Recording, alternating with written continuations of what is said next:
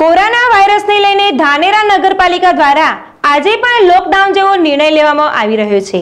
સાતથી બાર વાગ્યા સુધી જીવન જરૂરિયાતની બધી જ વસ્તુઓ ધરાવતી દુકાનો ચાલુ રાખવામાં આવી છે અને ઇમરજન્સી સેવાઓ ચોવીસ કલાક ચાલુ રહેશે.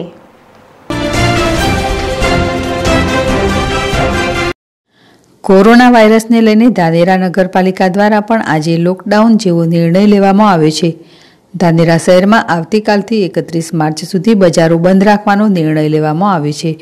સવારે સાતથી બાર વાગ્યા સુધી જીવન જરૂરિયાતવાળી વસ્તુઓ ધરાવતી દુકાનો જ ચાલુ રાખી શકાશે, જેમ કે શાકભાજી, કરિયાણાની દુકાનો, પાર્લર, દૂધની દુકાનો વગેરે ચાલુ રાખી શકાશે, જ્યારે સાંજે સાતથી નવ વાગ્યા સુધી માત્ર દૂધની દુકાન જ ચાલુ રાખી શકાશે. તે ઉપરાંત હોસ્પિટલો અને મેડિકલ ઓરાબેતા મુજબ ચાલુ રહેશે.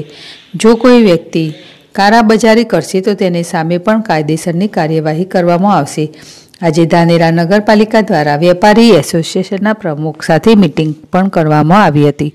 આ મિટિંગમાં જ આ નિર્ણય લેવામાં આવ્યો છે. જો કોઈ વ્યક્તિ બપોરે બાર વાગ્યા પછી પણ દુકાન ખોલશે તો પહેલી વાર એક હજારનો દંડ, બીજી વાર બે હજારનો અને ત્રીજી વાર દુકાનને સીલ પણ મારવામાં આવશે. નગરપાલિકા દ્વારા તમામ લોકોને કામ સિવાય ઘરની બહાર નીકળવા માટે અપીલ પણ કરવામાં આવી હતી. તે ઉપરાંત નગરપાલિકા દ્વારા એવી પણ અપીલ કરવામાં આવી છે કે સાતથી બાર દરમિયાન પણ જીવન જરૂરિયાતની ચીજવસ્તુઓ ખરીદવા જાઓ.